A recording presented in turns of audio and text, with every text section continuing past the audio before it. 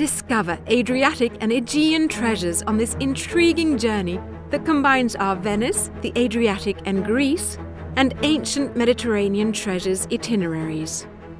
What better place to begin this historic voyage than in magical Venice? Two days in this enchanting city give you just the time you need to see all the palazzi, cathedrals, and museums. In Split, Croatia, you can explore the cobblestone streets of the Old Town or visit the palace of Roman Emperor Diocletian, a UNESCO World Heritage Site. The walled city of Dubrovnik is one of Europe's jewels, a charming port with a beautifully preserved old town of ancient stone buildings and red tile rooftops.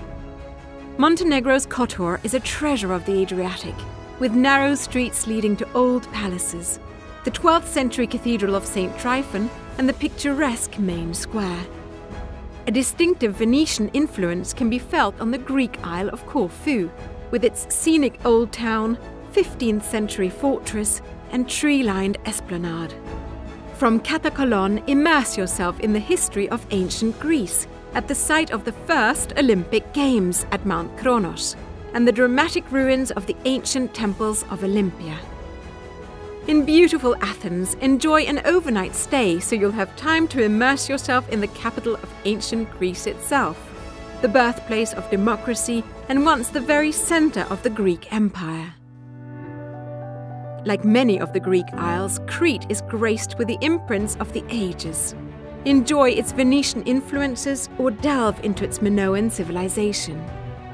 On the Greek island of Rhodes, you'll pass through one of 11 imposing gates to discover the Old City, Europe's largest active medieval town and a UNESCO World Heritage Site. In Turkey, fabled Ephesus offers a stunning window into the past, with remarkable architectural treasures, including the iconic Library of Celsus. While ancient Troy, once thought to exist only in mythology, boasts traces of as many as nine different cities on the site.